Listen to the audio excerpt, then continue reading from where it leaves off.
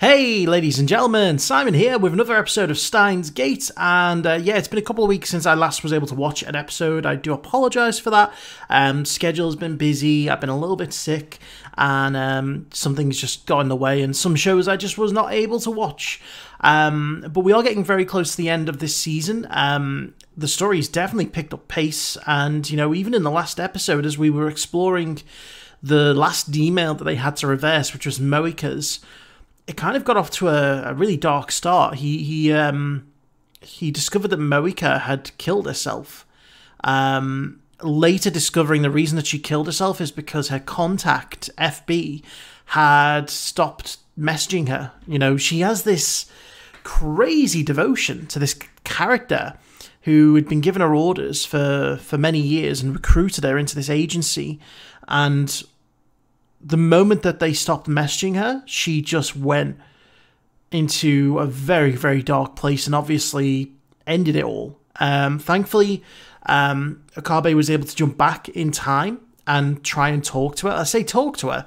It was more like a screaming match for about 10 minutes where she was screaming, Give me my phone back.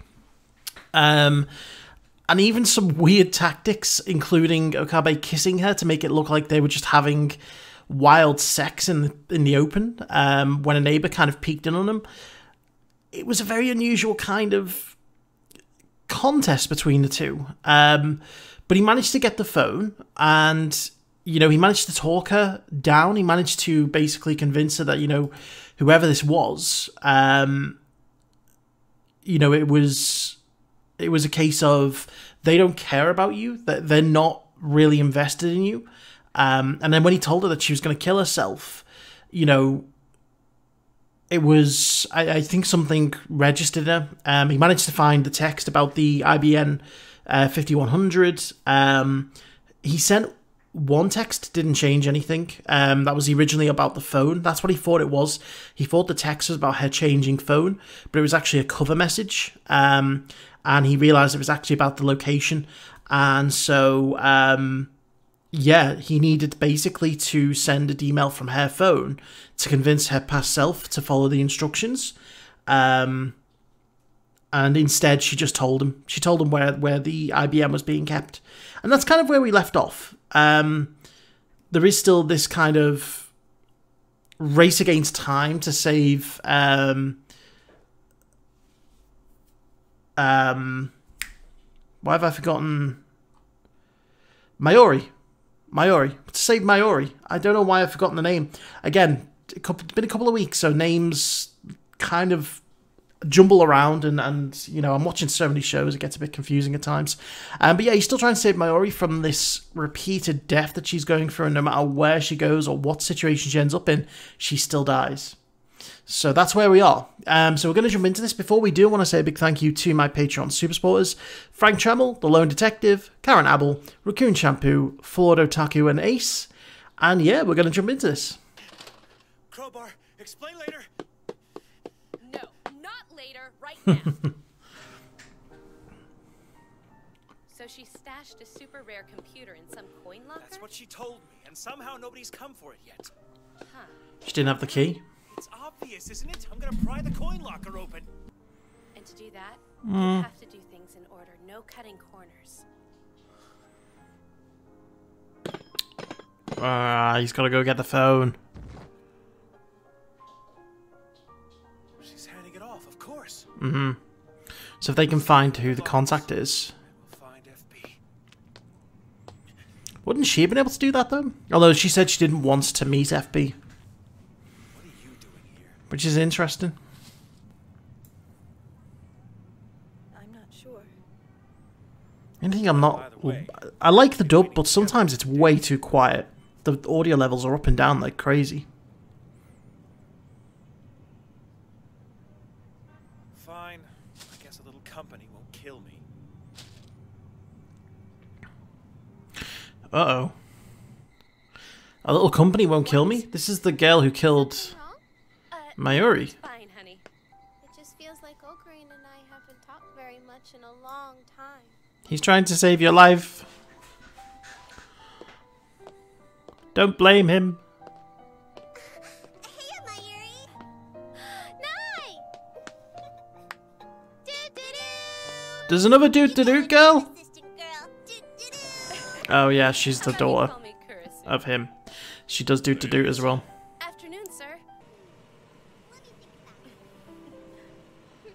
She's a sweet girl.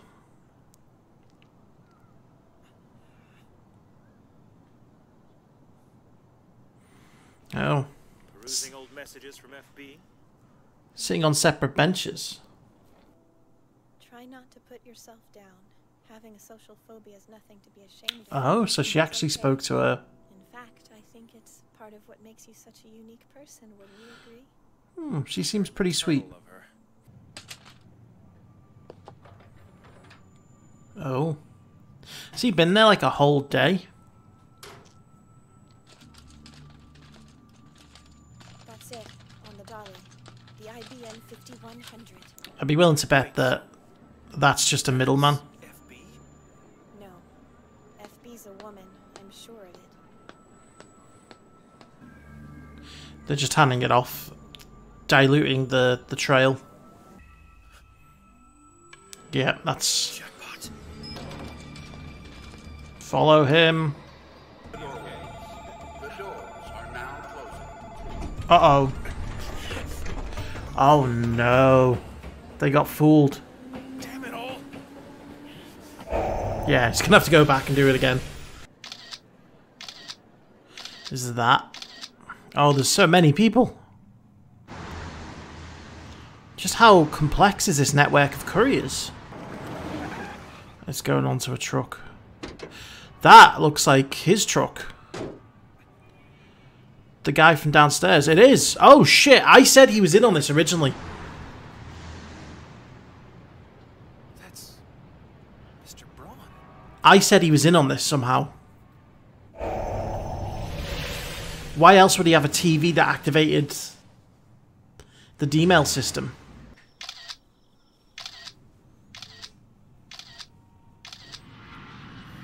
Narita Airport. I've been to Narita Airport many years ago. And it's on a plane bound for France. Mayuri does. Mm. Strange how it feels. Like we haven't really talked for a while now. Yeah, he's been stuck in this loop for a long time. I'm sorry. Hey, buddy. We're leaving. Are they going to France? Confrontation time. Wait, hold Oh. on. Confront who? Mr. Braun? A meeting with FB. That's all we ask of you. Please. I'm Mr. willing to bet he Braun, maybe doesn't know.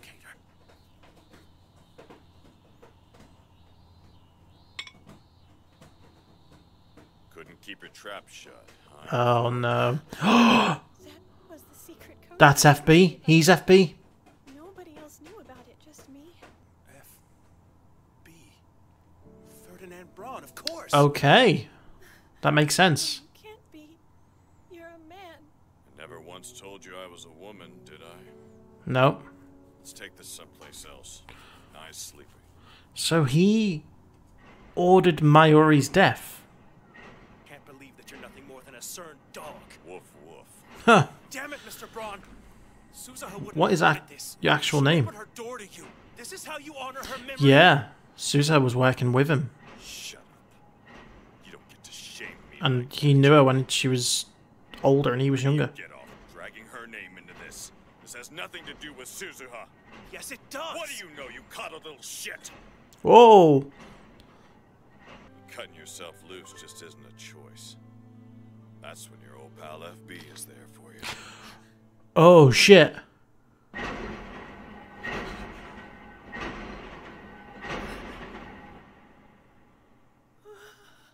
So she's fated. She's fated to die that day. It's not just Mayuri now. But I failed. Failure gets punished. If I try to skip town, though, then They'll they'll kill her. come for his daughter. That's how they've got a hold on him. There's only one way out.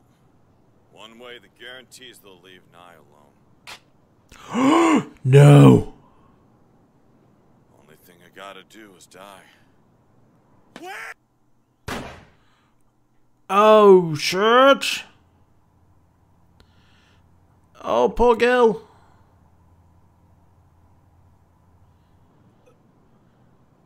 He just killed himself. That's his only lead as well.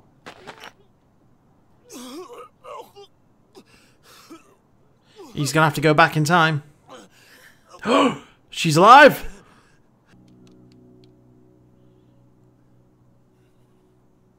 He can put M4 on.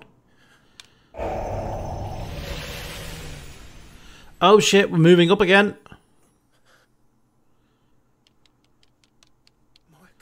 Is this this is back in the moment that she stopped getting messages? An IBN 5100. Actually, we do. They've got it back.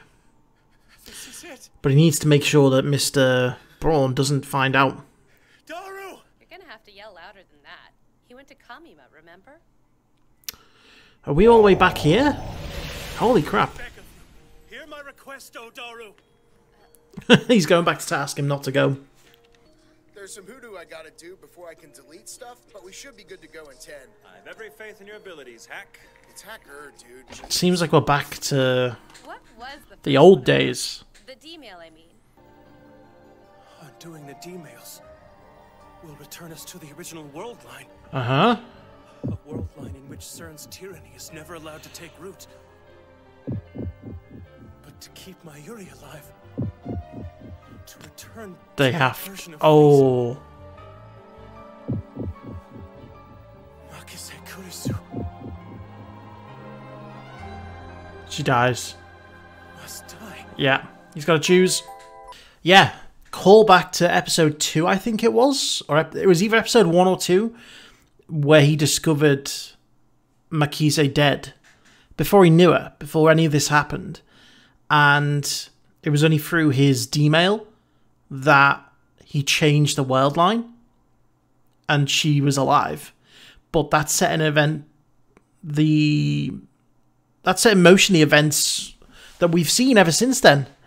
Um, so he's got to make a choice between Mayuri and Makise. I'm not sure if there's a third option. I'm not sure if he can avoid both, unless he somehow has to get it to that number one on the divergence meter. Um, man, so this episode, so I knew that Mr. Braun. I said it way back. I can't remember what episode it was. It was like when we it was like a few episodes after we first met Mr. Braun, and I was like, what if he's in on it? What if he's like spying or something? Because it seemed too convenient that one, he put up with so much shit from Okabe. Most landlords would have just been like, you're out, you're done, get gone. Um, two, what were the chances of his the, the TV downstairs being the conduit for the D-mail system being able to work? you know that seems to me that like that was too coincidental um and then Suzuha working for him was another thing I was kind of like hmm wouldn't it be ironic if he was involved in all this and she's been working with him all this time? So he was FB and yeah he's a pretty interesting character. He obviously is cold and harsh but also loving to his daughter. He'll do whatever is necessary to keep his daughter safe, which is dangerous um, in the wrong hands. God, that's that's a twist and a half. Um, yeah, we've worked our way all the way around into a circle, um, where we are essentially back at square one. But Okabe has got knowledge, and that's a big advantage for him because he now can decide what's going to happen from here. But again, it's a risk. If he tries to change the timeline again, CERN could well get back into power. Um, who knows? Who knows what's going to happen? Oh, there's so much that could go wrong. There's so much that could go right. But I can't see the third option where one of them doesn't die. You know? We've now seen the three female characters all get killed. Makise, Moeka, and Mayuri, the three M's, the, the mortal M's, um, they all died at some point during the show, and now they're all alive again. It's crazy. Um, but anyway, ladies and gentlemen, thank you very much for watching. I hope you enjoyed that, and I will see you for the next one.